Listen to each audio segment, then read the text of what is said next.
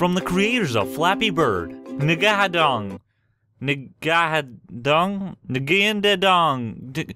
What the heck is our company called? We bring you Flappy Bird 2, featuring all new levels, as well as the classic Flappy Bird level you're also well accustomed to. Don't lie to us, you know you love it. We have also included other levels such as the nighttime level, When the lights go down in the city.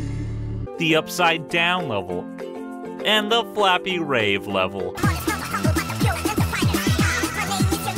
Ooh, let's see you try and complete the game now. And as if that wasn't enough, the game also now comes with several customization features, such as the ability to see yourself as you play.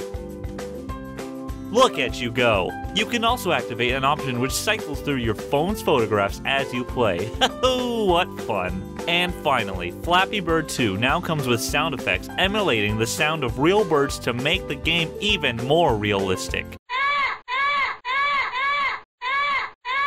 It's safe to say that we've put a lot of thought into our new Flappy Bird game. But even if we didn't, would it really matter? All of your friends already have it, so you're sure to download it anyway. Also coming soon, Flappy Bird Star Wars and Flappy Bird HD 3D animated feature length film. Flappy Bird 2. It's free.